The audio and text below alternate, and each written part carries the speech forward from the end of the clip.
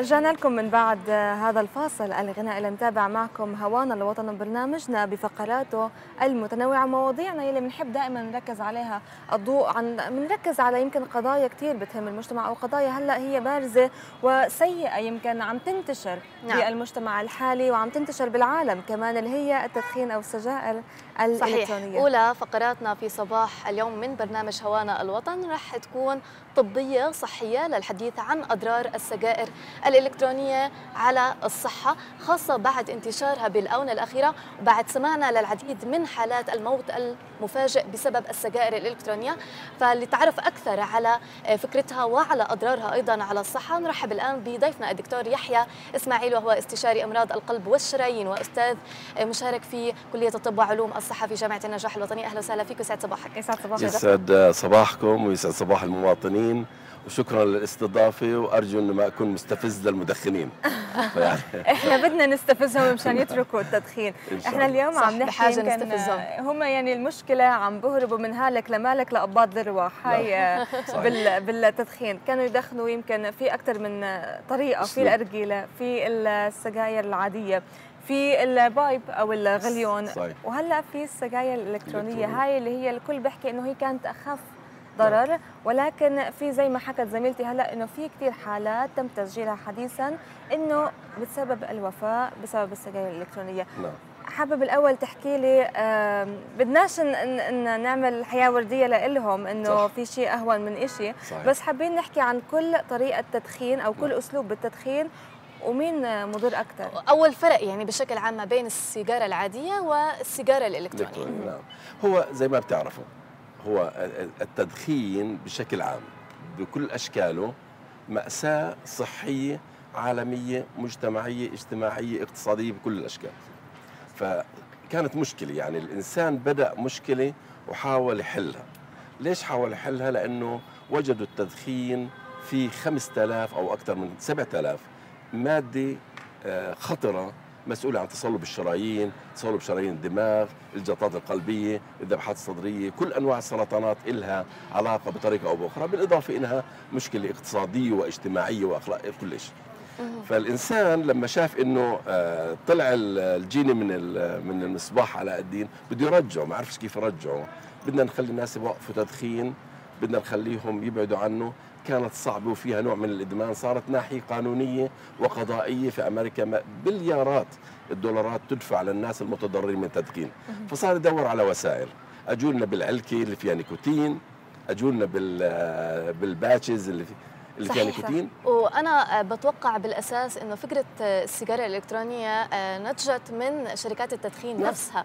الموزعه للسجائر العادية صح. لحتى آه، تكون مبرر أو لحتى ما تخسر أكثر من هيك لأنه هي مضطرة من قبل وزارات الصحة المنتشرة بكل دول العالم صحيح. إنه تكتب مضار التدخين مضار على كل نعم. علبة وبالتالي جابوا وسائل من جملتها السيجارة للأسف تسميتها كانت تسمية خاطئة يعني هم عملوها سيجارة إلكترونية. ففانسي نيم للي بدخن إنه يستعين فيها مرات مشان فانسي وهو مسافر وهو في البيت أو صارت وكأنها وسيلة أخرى للتدخين. وهي اضرار هي عاديه هي وسيلة لترك التدخين. أه. فشو عملوا هم؟ آه، بدل ما أنت تأخذ السيجارة ولما تنحرك تطلع لك 7000 آه، آه، مادة مسرطنة. قالوا تجيبوا سيجارة إلكترونية بتحط فيها نيكوتين تحط فيها ثلاث زيوت ثلاث زيوت. تتبخر تطلع نفس الدخان وهو أخذ النيكوتين. ولذلك إذا بدنا ناخذها كأضرار صح ضررها أقل. ولكن للأسف لكثرة انتشارها وللمفهوم السيء تبع انها سيجارة بديلة صاروا الشباب يدخنوها لأن مش ممنوعة صارت لها أضرار من الزيوت المستعملة لإنتاج هذا. النوع من استهلاك أكبر صار كمان واستهلاك أكثر. أكثر.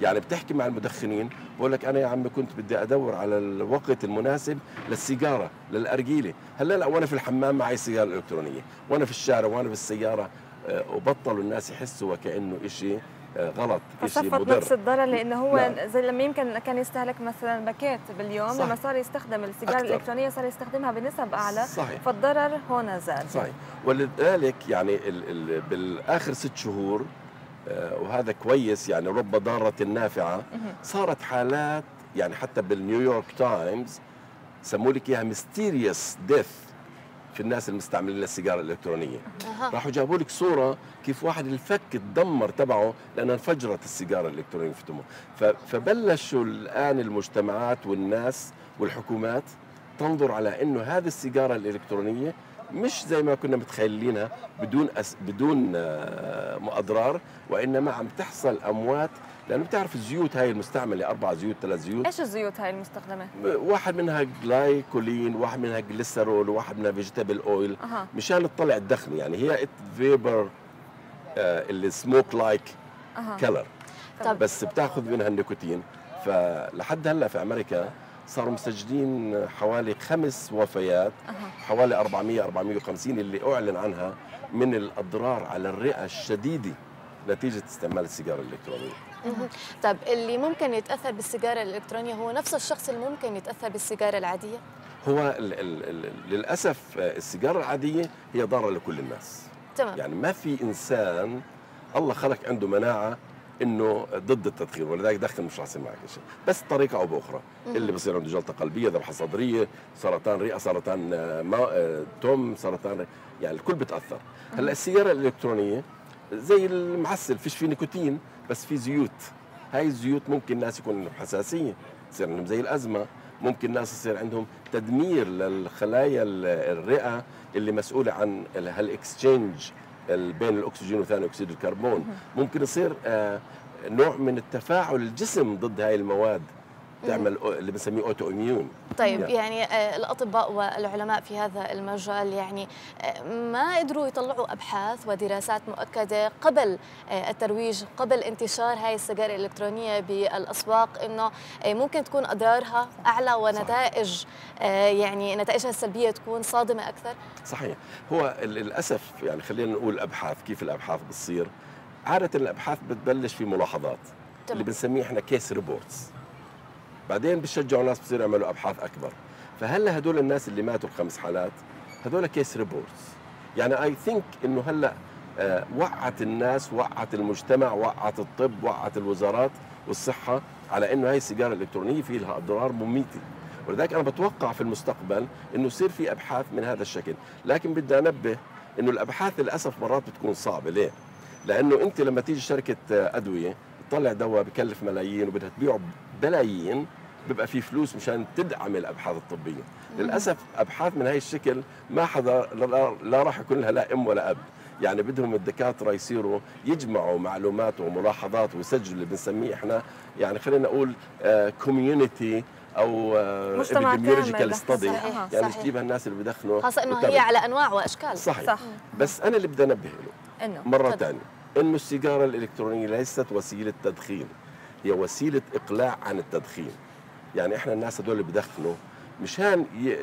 الإدمان على النيكوتين يتخلوا منه طيب. بس هي وسيلة سيئة يمكن أنت حضرتك أكيد متابع نعم. حضرتك دكتور نعم. قلب وشرايين وأكيد تعرف تأثير التدخين على القلب والشرايين نعم. وكمان على الرئة وعلى الدماغ وعلى كثير أجزاء وأعضاء بهذا الجسم صحيح. بنعرف إنه إحنا المدخن آه عقله يابس شوي. صحيح. آه ما بيستوعب بسرعة إنه يعني عم تحكي له تدخين صعب والتدخين مش منيح. التدخين مضر بالصحة رئتك آه هذا جيب له صورة قلب أو رئتين واحدة فريش وواحدة سودا صح.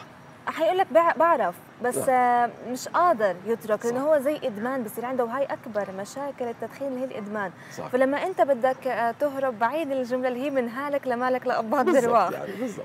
إحنا إيش فينا هون نساعد المدخن إنه هو يمكن يهرب لطريقة أسلم صحيح. من هو طبعا هذه مسؤولية عامة مسؤولية مجتمعية مسؤولية طبية مسؤولية حكومية وقانونية.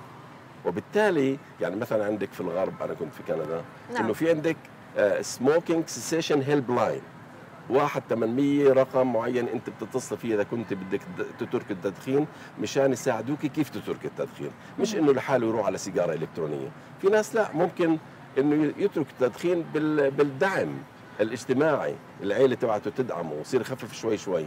الأطباء لهم مساهمة كبيرة توعية المرضى والأصحاء على إنه التدخين هذا مضر وكيف بيقدر يوقف التدخين. في ناس بيحتاجوش لشيء مشان تدخين. صح. واللي بده يستعمل السي... لازم نعلمه برضه إنه كيف يستعملها.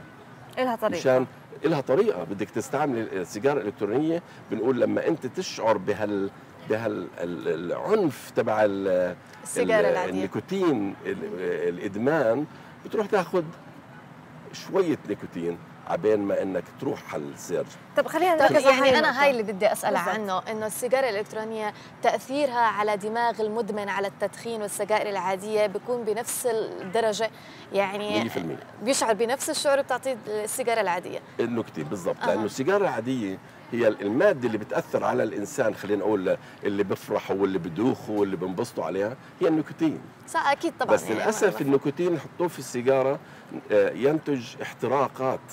يعني هو مفاعل نووي السيجارة بتطلع 7000 مادة سرطانية.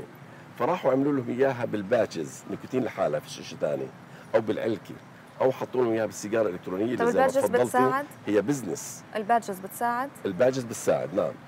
فهي أنا قصدي إنه النيكوتين مدمن. وال nicotine withdrawal موجود.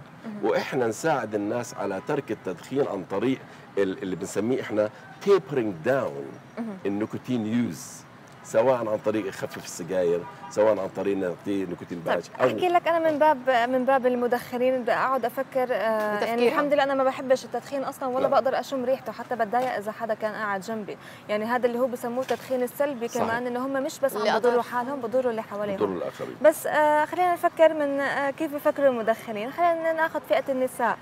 في عنا آه يعني بالعالم نساء مدخنات. صح. بيحكوا لك إنه أنا إذا تركت التدخين بنصح.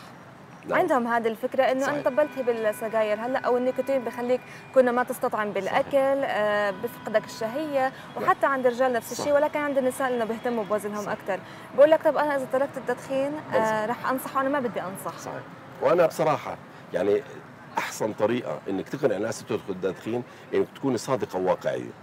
وذاك أنا دائما بقول لهم النيكوتين مدمن وصعب وبده مساعدة وبده سبورت وكذلك بقول لهم إنه دير بالك رح تنصح أو رح تنصحي لما تترك التدخين وهذا شيء بسيط. يستطعم بالأكل. أه، مش بس هيك إنه التدخين بلهي بزيد الميتابوليزم تبع آه الجسم. آه. وبالتالي الجسم بصير كأنه بركض ركاض كأنك شادة على دعسه البنزين. الناس بصيروا يأكلوا أكثر مرات. فإذا أنت وقفت التدخين وضليتي نفس الهبت ما تلعبيش رياضة وتأكلي نفس الطريقة بدي ينصح فبقول لهم الحل مش إنك تضلك تدخن. الحل توقف تدخين وتروح تلعب رياضة مشان تنسى التدخين بالمرة ويصير أكلك صحي وحياتك صحية مشان ما تنصح. وبالعكس حتى لو نصحت أو نصحتي بقول لهم ما في شيء اسوء من التدخين. انصحوا بنرد نضعفكم آه بسيطة هاي. بس أهم شيء توقف التدخين. هاي الأصعب أكيد. للأسف يعني هو التدخين مش بس الكبار يعني اللي بيعانوا منه إنه شباب صغار بالمدارس هاي الظاهرة اللي عم نشوفها اللي كثير سلبية وكثير مؤذية لازم نحط لها حد. نعم. ويمكن السجائر الإلكترونية ساعدت بانتشار الظاهرة أكثر لأنه متوفرة بكل مكان وما في عليها قيود. 100% حتى بالغرب هلأ في أمريكا إذا بتطلع على الحالات اللي ماتت والحالات اللي انصابت المعاناة الآن ولذلك أظن قريبا في الغرب راح يوجدوا آه، قانون يحرم يمنع خاصة الصغار. لأنه للأسف زي ما تفضلتي السيجارة اللي بدخنها وهو عمره 60 سنة الواحد بتضره قد 10 سجاير بدخنها الشاب الصغير اللي لسه جسمه عم بنبن الفسيولوجي تبعته عم تنمو وبالتالي الضرر اللي بصير هناك زي الضرر في أساسات البيت. يعني تعمل جريمة. بالإضافة زي ما تفضلت لسه فيش قوانين محرمة.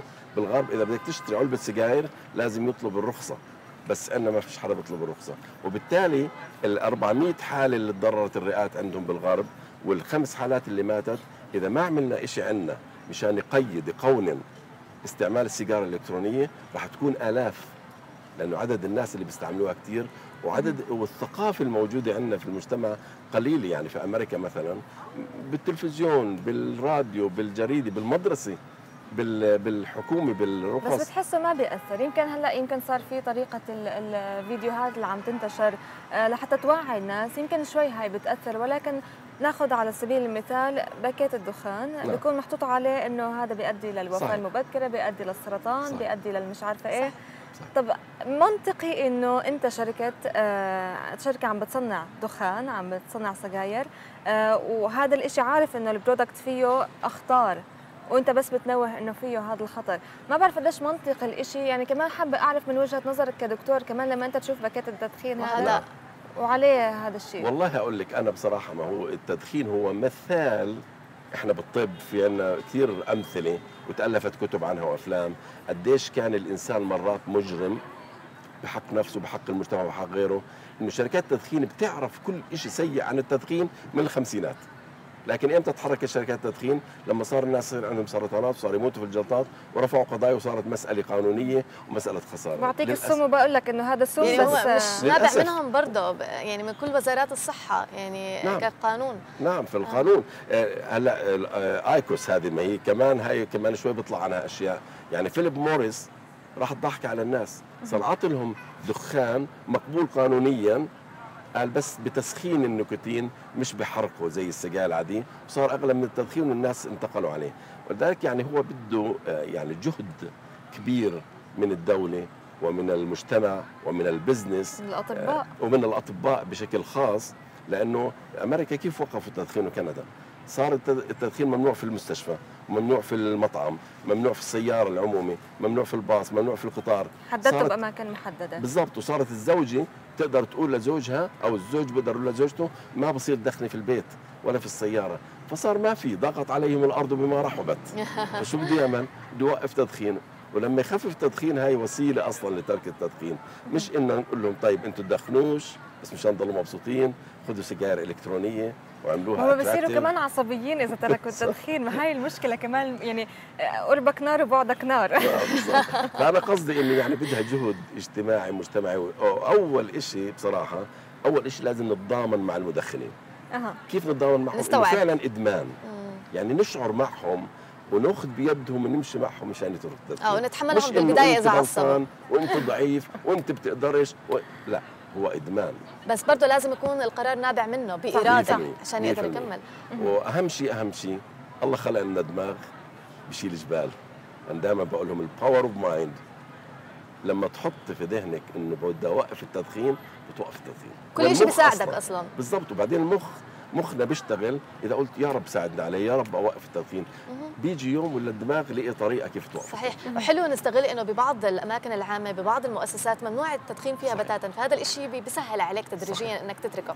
100% وهذا واحد من الأشكال أو اللي صار في الدول الغربية كيف خلت الناس يوقفوا التدخين يعني بصراحة بقول دائما زوري فيش مش كل المطارات بس مثلا مطار لندن في محلات مدخنين بالغلط مرة مرقت من جنبه بتئز منه. تتقززي منه. يعني عملوه خصوصي عملوه مقرف بطريقة قاصدة. آه. مشان الناس ما يتشجعوا يروحوا يقعدوا هناك. والحلو كمان صار في عنا كمان يمكن بنابلس أو بفلسطين في صار أماكن آه، أو مطاعم أو كافيات بس آه، للأشخاص الغير مدخنين صحيح. كمان. هاي بتساعد كمان أن تنشر هاي الفكرة وبالشركات صارت الفكرة آه. معممة أكثر. شكرا كثير لك دكتور. إحنا بنتشكرك على كل جهودك وعلى كل هاي النصائح اللي بنقدمها للأشخاص اللي بدخنوا. دائما بنحكي الله يديم علينا الصحة والعافية. آمين. شكرا جزيلا لكم. شكرا, شكرا المواطنين والله يعين كل مدخن انه يترك التدخين. آه إن شاء الله. والله يعين الأشخاص اللي حواليك كمان. إن شاء الله نكون اليوم هيك قدرنا نساعدهم ببعض النقاط الهامة والنصائح من قبلك. تحياتنا ونهارك سعيد يا رب.